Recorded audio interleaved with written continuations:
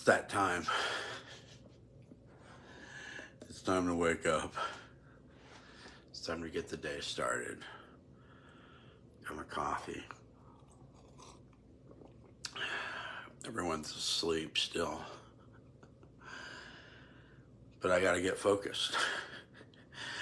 Doesn't matter what time your shift is, if it's first thing in the morning or if it's in the middle of the night. There are times when we got to get ourselves right. How do we do that? How, how do we stay focused? Uh, a little something sleepy today. You know, there are times in our day where it just doesn't, we just don't have the time to prepare for what's ahead.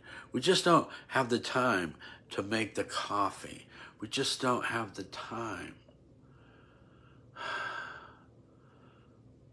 to guess what's right around the corner.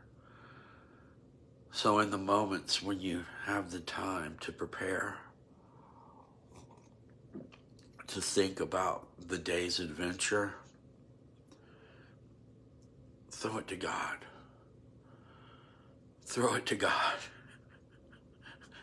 Throw it to God. Let me say that one more time. Throw it to God. Because no matter how much this may help, there's one thing that truly helps, and that is our relationship with God. A little something sleepy today, you know, no matter how you may feel at any given time in your day when you've got to go out and you got to press through the circumstances that will arise today, give it to God before you walk out that door. Take a minute. Take a minute. Take a minute.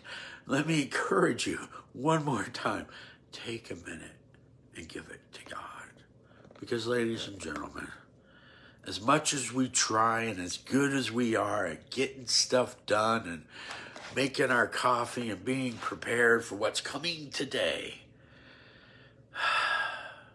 we truly have no idea.